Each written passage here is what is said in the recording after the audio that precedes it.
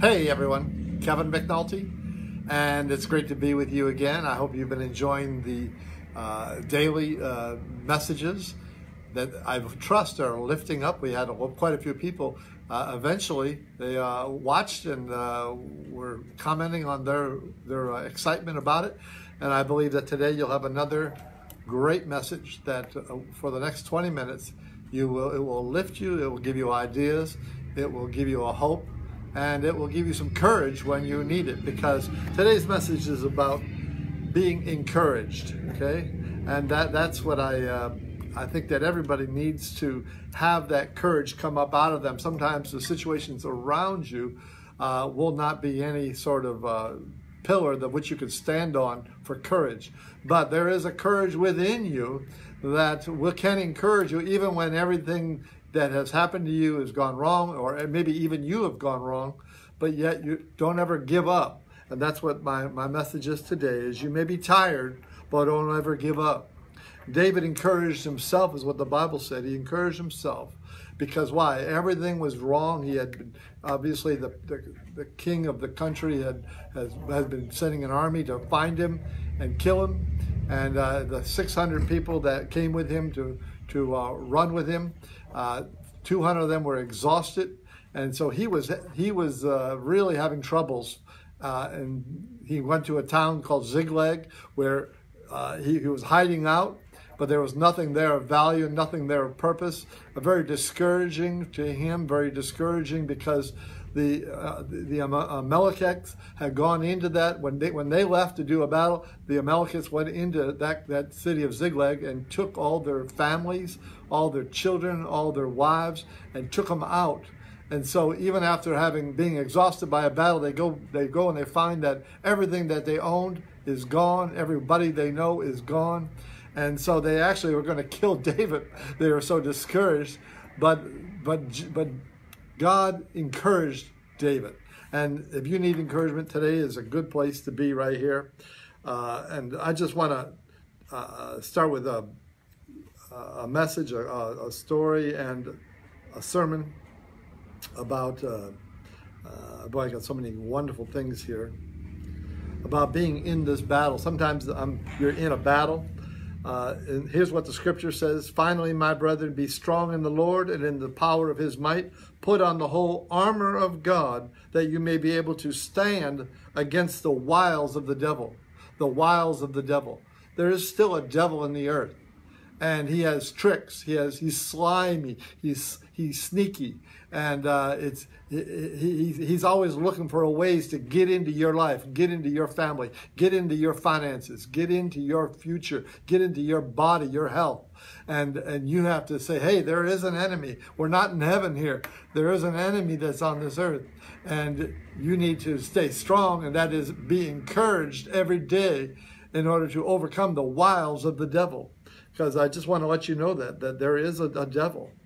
And uh, after Bible school, at home, the devil put his hand on my mouth. After two years of Bible school, I come home for the first time and lay down on my bed, and uh, and a devil put his hand on my mouth, and I'm like, mm, mm, mm. I'm trying to, I'm trying to fight him, but I can't fight him because I have no mouth. My mouth is covered over. The devil knew that I was going to fight him, and he's so I just kept at it, kept at it until he broke loose, and then I cast him out and I said to the Lord, I said, What is the devil doing in my house? This was my mother's house, and I hadn't been there for a couple years. But what's he doing in my room? And uh, the Lord spoke to me, and He says, Have you seen the music that's being played in your in the house? And I said, No, I haven't been here. So I went up to the to the uh, uh, where the where the upstairs where they play the, the music, and I looked at all the music, and oh my goodness, it was all very current, bad music, uh, bad singers that are corrupted, and their, their messages are evil, and and I'm looking at all that, and I start pulling it all out because I had just been affected by it. I pulled it all out, and I threw it all in the trash. Now that wasn't my music and uh, I have sisters and brothers, so I don't know who the music belonged to. I knew it wasn't my mom, so it was one of my sisters or brothers. And so I found out, uh, I can't tell the whole story because I don't have time. But anyway, just I'll tell you this story later. But I found out that uh, who whose music it was. I took them to an event to distract them, so they won't uh, they won't uh, have the you know the problem of, of uh, yet with me of the, the fight over who lost, who's, who took all of her music you know and uh, anyway God saved me saved me so much because when she when she I took and she went to a different uh, uh, place than I did, a different preacher than I was listening to, and when she came back to the car after this event, she said, "Kevin, did you know this guy that was teaching? He taught on music, and you know that my my music is satanic. Based on what he said, I'm going to throw it all away when I get home because now I know that it's satanic."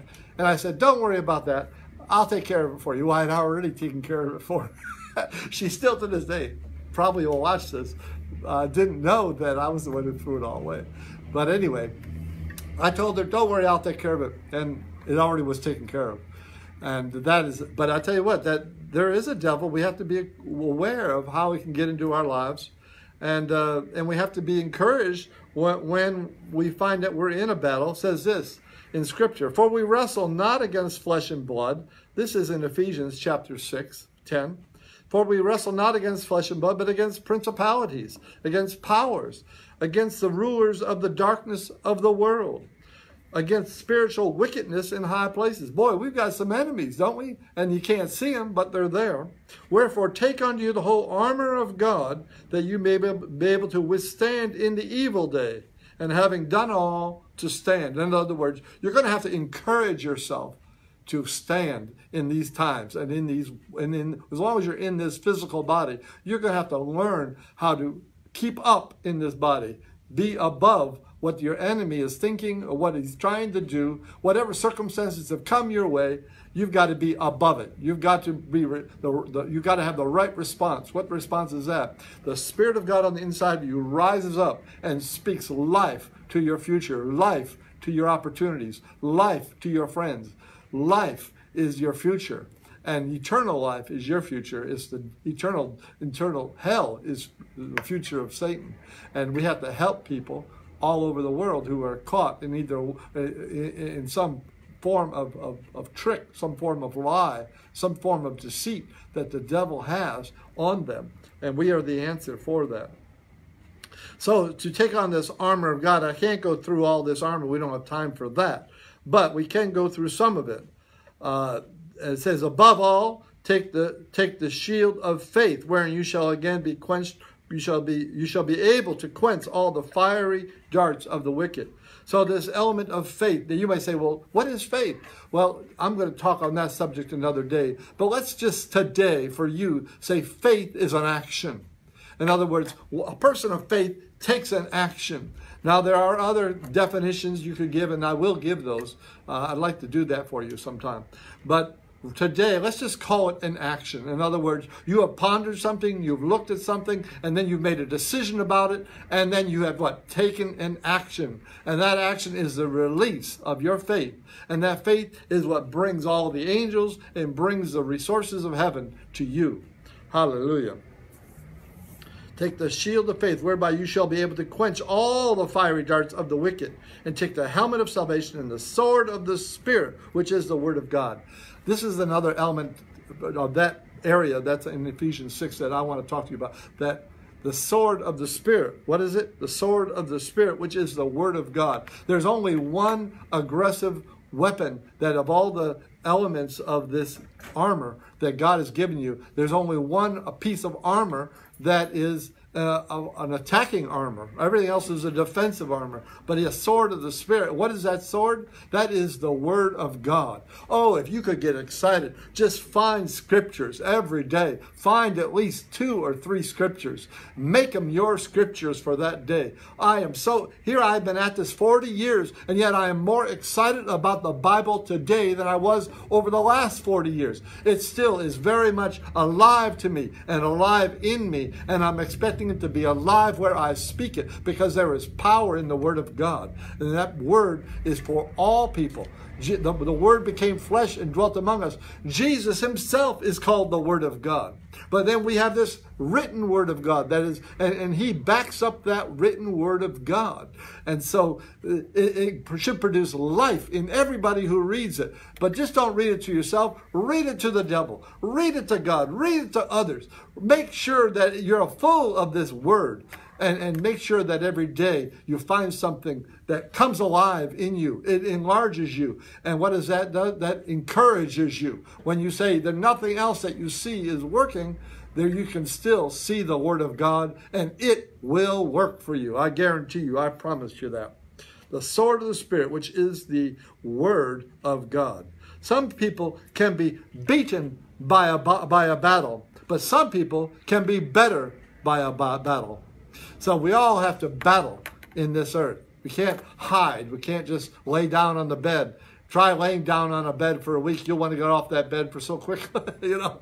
But listen, that's not what life is. Life is we enter into the battle of our lives, and that is helping people, changing people, lifting people, uh, uh, uh, pro- providing for people. Uh, your your ministry, your life. We all are ministers. You know that. It's not just somebody with a degree, but we all are ministers in our world. Your world and my world are different. And I, but I want to help your, you in your world by taking hold of that battle, taking hold of the sword of the Spirit, understanding the word that will apply to your way, your day, your say, and, and making it all a reality. And you say, wow, that's impossible. That's how I started the ministry. That's how I started my walk with God. Is this was such a coincidence that the number of things that happened to me at once, I said, there, there must be a God. I'm going to go search that out. I'm going to go find that out. And I found Jesus. Hallelujah. For if the trumpet give an uncertain sound, who shall prepare himself for the battle? So there's a sound that, that you have to hear that prepares you for the, for the battle, a sound. If, if you can't understand it, in other words, if you can only have a Bible in a foreign language and you can't understand it, it's not going to help you. You can, and, and you have to understand this. There is a voice on the inside of you when you become born again. And that voice is wanting to love you and to communicate that love and to show you that love and to help you, to provide for you, to give you something that is exciting about your life, something that is not only producing peace for your life, but in producing encouragement for your life. Encouraged to do what? Encouraged to do what you want to do. What do you want to do with your life? There's a spirit on the inside that says, Yes, I'll do it with you. And this is the power of being born again. This is the power of starting over. Born again means you were born once, you died, and you raised again from the dead, just like Jesus rose again from the dead to a new life, a resurrection life. You also have risen from the dead to a new life, a resurrection life. And that resurrection life is as powerful as the life of Jesus Christ. And because why? Because he has come to live in you and to think through you, to speak through you, to understand and to help you. Because why? Because he's got a destiny and your name's on that destiny. And it's something that you don't want to put on the shelf because you'll never see the results of your life if you just put it on the shelf. If you say you're too busy for God, if you're too busy for understanding, if you're too, if you have lost all hope, if you are bored, and you say, you know, so many times people go to church and they're bored, they come home and they're bored, they go to work and they get bored, and they forget how to connect with the giver of life on the inside of them and to expect better things than what they're seeing, better things than what they're knowing, better things than what they've experienced. Why? Because the one on the inside of them is walking with you through your life to a better and a fulfilled destiny. Well, so when you look at the end of your days, you say, I have finished my course, just like the Apostle Paul said. It is done. I have done all. Hallelujah. Some know not the meaning of the voice. Therefore, if I know, here's what he said. He said, Therefore, if I know not the meaning of the voice, I shall be unto him that speaketh a barbarian, and he, he that speaketh shall be a barbarian unto me. So there is this importance, more than you can think, of, uh, of understanding the voice of God, understanding the voice of Jesus Christ. Remember, with Jesus was the Word, and the Word became flesh and dwelt among us. Listen, Jesus was the Word, and He became flesh and dwelt among us. So, you want to hear the voice of God. You want to understand it. You want to eh, you want to act on it. Action is faith. Faith is action. You want that to happen in your life, then you can by getting that word inside of you. Start repeating it. Start thinking it. Start expecting it to happen in you. And it will happen in your ideas. It will happen in your finances. It will happen in your health. I thank the Lord for good health today. I thank you for him good health every day. I speak good health to all the joints, all the sinews, all the blood vessels, all of the all, of the parts of my body. Why? Because God said that there's a life in those words. And I want that life in my body. With long life will I satisfy you and show you my inheritance. You want long life? Start talking long life. Start thinking long life. Start believing long life. And start expecting. This today, we're talking about having an expectation. And uh, I want you to have that, okay? So, like I said, I'll repeat it again. This is in 1 Corinthians 14. Therefore, if I know not the meaning of the voice, I shall I shall be unto him as speaking to a barbarian, and he shall speak, uh, uh, and and he that speaketh shall be a barbarian unto me. In other words, we'll have no connection. I have spoken to cannibals. I could not speak their language. They've spoken to me. I've spoken to them. Thank God we had an interpreter. and uh, that was a wonderful experience I had. Oh boy, I think I'm. Oh, we have a few more minutes. I think we can continue, and uh, I, someday we're going to do this, and we can talk back and forth to each other. uh, so, there's so much in this. I like this story about the story when Paul had gathered a, a, bundle of sticks and laid them on the fire. There came a viper out of the out of the heat. Here he had just been through the, the, the sinking of his boat, and and uh, he had he had saved his own life already, and saved the life of all those people that were on the boat by by obedience to what the Lord had said to him to do. And so he had saved all their lives. He was making a fire so everybody could get warmed up, and the snake comes out and bites him and uh, they all say, "Oh, see, he's evil, and the devil's gonna, he's gonna die right now," and uh, and he just shakes it off, thinks of it as nothing. It's just another little attack of the enemy, and he doesn't get shaken by it. Don't get shaken by those little attacks on your day. Just kind of ride them through. That's what he did. and when the oh boy, I tell you, uh, why do I bring that up? boy, I've got other. Uh, this reaches into other stories. Woo, much. Uh, and when the barbarians saw that the venomous snake, snake uh, beat, uh, uh hand, uh, beat his hand, uh, bit his hand, and and said among themselves, "No doubt this man is a murderer, who though he has escaped the sea, yet venomous suffered. Now now he will not live."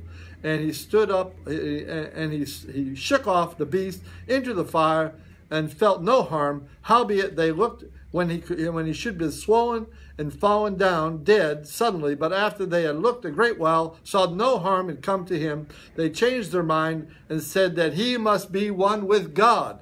Well, that's that's what you've got to understand is that you're going to have some snake bites probably in your life, but just shake them off and say, "Listen, I'm not moved by these things. I'm not moved by the back uh, by the by the the, the, the uh, delays. I'm not moved by the discouragement. I'm not moved by it. Why? Because I've got a reason, a purpose. The angels, the angels appeared to him and said, "You must appear before Caesar." Listen, that's what, and we got to finish with this, because he said this: "You must appear." The, the angel said to him, "You must appear before Caesar." That gave him great confidence that there was something, a purpose in his life, and there's a purpose in your life and you must appear before some. Why do I go around the world, 65 nations? And that's not it. We, I'm excited about some of the things. I hope you can appreciate that, to be excited about reaching other nations, other people, people who don't have the opportunities that we have here in America. I want to reach the people in America. We have a program here. Maybe you want to be a part of it. 50 states, 50 tents, 50 teams. Raise them up. We've already started one. We're going to start another one in about a month. And uh, we're, we're, we're going to do the 50 states. And but but we're not going to forget the world. We're not going to forget Africa. I've got a, a, nation in Africa waiting for me. If you have a heart for Africa, send me the resources necessary. I will take those resources. I will I will communicate with you what I did with them as I got on a plane to reach Cote d'Ivoire, which is waiting for us. Ten regions of that country of Cote d'Ivoire, Ivory Coast, and there also is a great opportunity in uh, in Europe where we had a breakthrough. They said it was going to take us five years to get a breakthrough in Belgium. We got it in a year and a half, and that breakthrough is there and it's waiting for us to return. The, the invitations are out, but we're going to need we're going to need you. We're going to need friends. We're going to need help to get these things done. And I appreciate you. I appreciate what the Lord is speaking to you. Uh, we've been going around the world for over 40 years and not and not not waiting. We're going. And so these are opportunities and uh, I just appreciate all my partners that make them all possible. They're all because of you. It's all because of friends and partners that make things possible. And we're ready to take on the next task. We're ready to break down the next wall. We're ready to save the next soul. We're ready to go where no one has gone, gone before. And uh, I can say I've done that. I have done that. I tell you what, nobody's gone to those cannibals like me. And, uh, and then Leslie and I took a ship out from there and uh, we were we were uh, uh, uh, in this boat. And I got to close with this last story. I hope you enjoy it.